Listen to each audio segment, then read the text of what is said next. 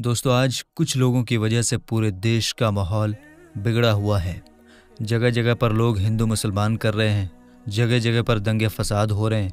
हाल ही में आपने हरियाणा के मेवात के नू में देखा और सुना भी होगा कि किस तरह से वहाँ का माहौल बिगड़ा हुआ है। ऐसे बिगड़े हुए माहौल में हम आपको दो ऐसे वाक्य बताते हैं, जिनको सुनकर आप समझ जाएँगे कि ना तो सारे हिंदू बुरे होते हैं और ना ही सारे मुसलमान बुरे होते हैं। सिर्फ़ कुछ लोग बुरे हैं जो अपने फ़ायदों के लिए ऐसा करवाते हैं। ये दोनों वाक्य यकीनन आपके दिलों से नफ़रत को मिटा देंगे। इसलिए आज की ये वीडियो आप सभी के लिए बहुत ही ज़्यादा ख़ास है।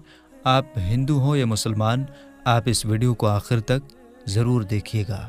और अगर आपको लगे कि ये वीडियो हिंदू और मुसलमान को एक करने में मददगार साबित हो सकता है तो आप इस वीडियो को दिल से एक लाइक करें और मेहरबानी करके इसे शेयर भी कर दें।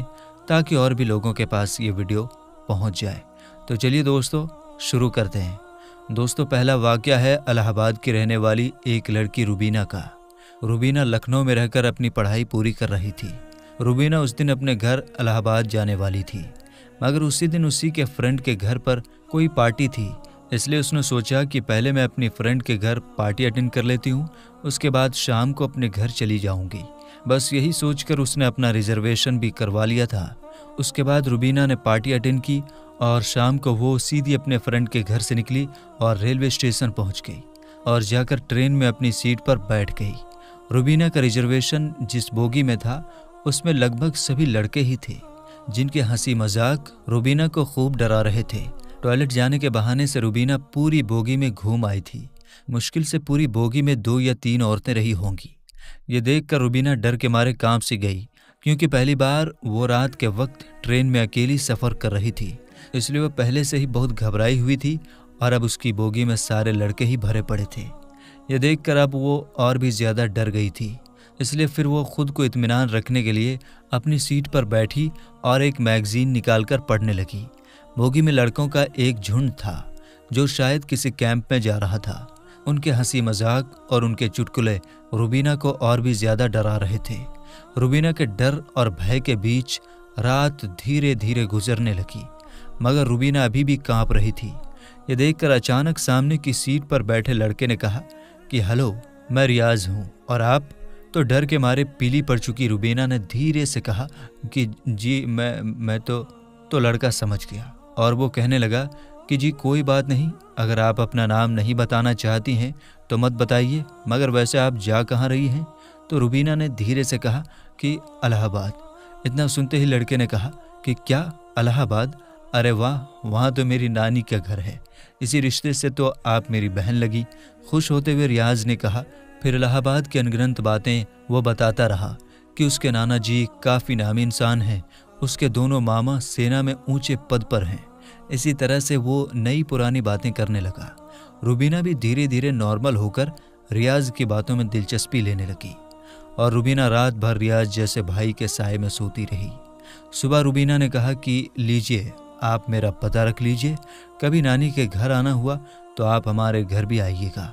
तो ये सुनकर लड़के ने कहा कि, कौन सा नानी का घर? बहन, वो तो मैंने आपको डरते हुए देखा तो मैं झूठ मूठ के रिश्ते बनाने लगा। मैं तो पहले कभी अलाहाबाद आया ही नहीं। ये सुनकर रुबीना चौंक उठी। तो लड़के ने कहा कि, बहन, ऐसा नहीं है कि सभी लड़के बुरे होते हैं, कि किसी अकेली लड़की को देखा नहीं कि उसके ऊपर गिद्ध की तरह टूट पड़े हम में से ही तो बाप और भाई भी होते हैं। इतना कहकर प्यार से रुबीना के सर पर हाथ रखकर मुस्कुराने लगा। रुबीना रियाज को देखती रही जैसे कि उसका कोई अपना सगा भाई विदा ले रहा हो। रुबीना की आँखों में आँसू आ गए थे। तभी जाते जाते रियाज ने रुबीना से कहा कि हाँ बहन, मेरा नाम रियाज नहीं है। मेरा नाम राजेश है। ये सुनकर रुबीना और भी ज़्यादा हैरान हो उठी। दोस्तों, ये तो हुई एक हिंदू लड़के की बात। अब आपको एक मुस्लिम लड़के का भी वाक्य बताते हैं, जिसको सुनकर भी आपका दिल खुश हो जाएगा और आपके दिल से नफ़रत ख़त्म हो जाएगी। दोस्तों, अब हम आपको जो वाक्य बताने वाले हैं, ये वाक्य गुजरात दंगे का बताया जा रहा है। कहा जाता है कि 27 फरवरी 2002 को दिन में एक ट्रेन में आग लगने की वजह से हिंदू मुसलमानों के बीच में लड़ाई शुरू हो गई थी, जो रात तक बढ़ते बढ़ते बहुत ज़्यादा बढ़ गई थी। फिर रात के वक्त में लोग टोलियों की शक्ल में सड़कों पर घूमने लगे और बेकसूर लोगों पर हमला करने लगे। इसी रात गुजरात के अहमदाबाद शहर में एक हिंदू लड़की अपने घर जा रही थी। इसी बीच उसने देखा कि सामने से सैकड़ों की तादाद में लोग अपने हाथों में तलवार लिए और शोर शराबा करते हुए आ रहे हैं। ये देखकर वो हिंदू लड़की बहुत घबरा गई और इधर उधर भागने लगी। वह बहुत से घरों के दरवाजों पर गई, मगर ऐसे हालात में किसी ने भी अपने घर का दरवाज़ा नहीं खोला। ऐसे में वो लड़की बहुत ज़्यादा डर गई थी। फिर वो भागते भागते हड़बड़ाहट में एक मस्जिद में दाखिल हो गई, यानी कि फिर वो धोखे से एक मस्जिद में घुस गई और एक कोने में छुपकर खड़ी हो गई।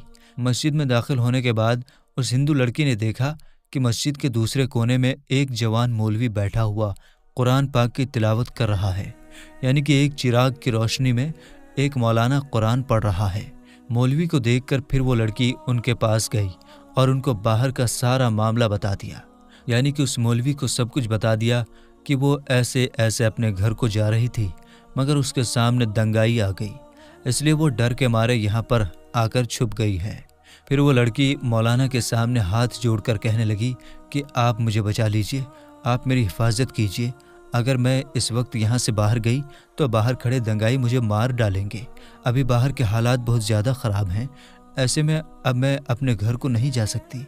इसलिए मैं रात भर यहीं पर रहकर गुजारना चाहती हूँ। फिर वो लड़की हाथ जोड़कर मौलवी से कहने लगी कि मैं आपके सामने हाथ जोड़ती हूँ आप मुझे रात भर यहाँ पर ठहरने की इजाज़त दे दें। लड़की की इन बातों को सुनने के बाद मौलवी साहब उठे और मस्जिद के दरवाजे पर गए और बाहर के हालात को देखने लगे। मौलवी साहब ने देखा कि बाहर के हालात वाकई में बहुत ज़्यादा ख़राब थे। सैकड़ों की तादाद में लोग हाथों में लठ लिए इधर उधर घूम रहे थे और बहुत से लोग हाथों में तलवारें लिए मस्जिद के बाहर भी खड़े थे। ये देखकर मौलवी साहब भी बहुत डर गए। उन्होंने मस्जिद का दरवाज़ा बंद कर दिया और अंदर आकर उस लड़की को मस्जिद में ठहरने की इजाज़त दे दी। अब वो लड़की मस्जिद के एक कोने में आकर बैठ गई।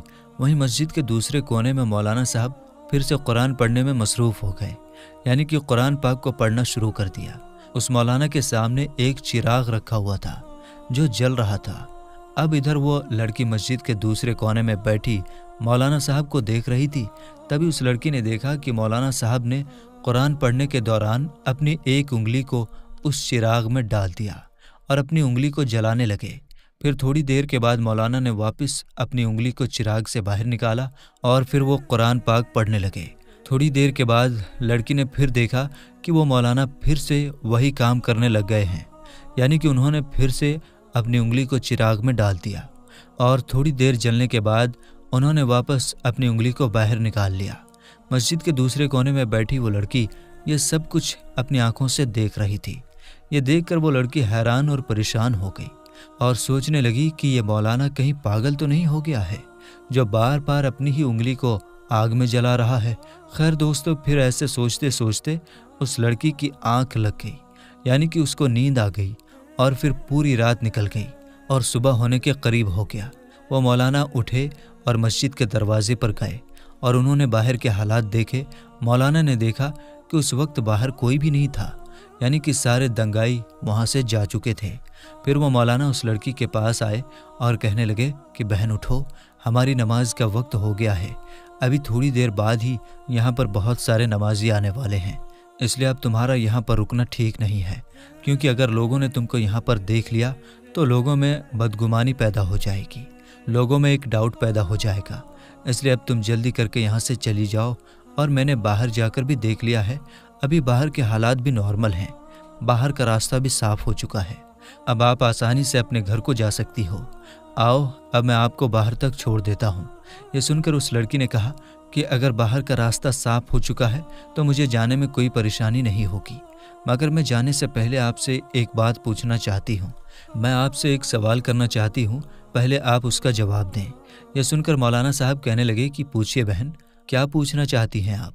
तो वो कहने लगी कि मौलाना साहब, आप ये बताएँ कि आप रात भर अपनी उंगली को चिराग में जलाने की कोशिश क्यों कर रहे थे? ये सुनकर मौलाना साहब कहने लगे, बहन, इसके बारे में आप ना ही पूछें तो अच्छा है, क्योंकि ये मेरा ज़ाती मामला है, इसलिए मैं इसके बारे में आपको नहीं बता सकता। तो ये सुनकर वो लड़की कहने लगी कि जब तक आप मुझे इसके बारे में नहीं बताएँगे, तब तक मैं यहाँ से वापस नहीं जाऊँगी। इसलिए फिर मौलाना साहब को इसके बारे में मजबूरन बताना पड़ा। फिर वो मौलवी साहब कहने लगे, देखो बहन, बात दरअसल ये है कि जब तुम रात के वक्त यहाँ पर आई थी तो तुम्हारी खूबसूरती को देखकर शैतान ने मुझको बहकाना शुरू कर दिया। इसलिए फिर मेरे दिल में नफसियाती ख्वाहिशात उभरने लगे थे। यानी कि तुमको देखकर मेरे दिमाग में गलत सलत और गंदे ख्यालात आने लगे थे और वो मुझको बेचैन करने लगे थे। इसलिए फ़ौरन मेरे दिल ने मुझसे कहा कि अगर तुम बुरा काम करोगे, अगर तुम गलत काम करोगे तो कल क़यामत के दिन तुझे जहन्नुम की आग में जलना पड़ेगा, जो इस दुनिया की आग से सत्तर गुना ज़्यादा भयंकर होगी। इसलिए पहले तुम इस दुनिया की आग का मज़ा चख लो। बस यही सोचकर फिर मैंने अपने दिल की बात को मानते हुए अपने जिस्म को आग के हवाले कर दिया और अपने जिस्म को आग का मज़ा चखाने लगा और अपने नफ्स से कहने लगा कि अगर तुझ में आग की तपिश को बर्दाश्त करने की ताकत है तो फिर तुम्हारी मर्ज़ी है। तुम जो चाहो वो कर लो। अगर तुम इसको बर्दाश्त कर सकती हो तो फिर तुम ये गुनाह कर लो। इसी वजह से रात में जब जब मेरे दिमाग में गलत और गंदे ख्याल आए, तब तब मैंने अपने नफ्स को आग के हवाले कर दिया और नफ्स को आग का मज़ा चखाने लगा। आग की तपिश देख कर मेरी नफ्स गलत काम करने से रुक गई। ऐसे करते करते ही मेरी पूरी रात गुजर गई। तो दोस्तों, देखा आपने ना ही सारे हिंदू बुरे होते हैं और ना ही सारे मुसलमान बुरे होते हैं। बुरे कुछ गिने चुने लोग होते हैं, जिनको भी बुरा बनाने पर बुरे होते हैं। कुछ लोग हैं जो अपने फ़ायदे के लिए हिंदू मुसलमान को लड़वाने का काम करते हैं। इसलिए आप ऐसे लोगों की बातों में कभी ना आएँ और आपस में सब मिलजुल कर रहें। इसी में हम सब का फ़ायदा है, हमारे देश का फ़ायदा है। उम्मीद करते हैं कि आज की ये वीडियो आपको अच्छी लगी होगी पसंद आई हो तो दिल से एक लाइक कीजिएगा और मेहरबानी करके इसे शेयर भी कर दें ताकि और भी लोगों के पास ये वीडियो पहुँच जाए। तो मिलेंगे आपसे अगली वीडियो में। तब तक के लिए असलकम अल्लाह हाफिज़।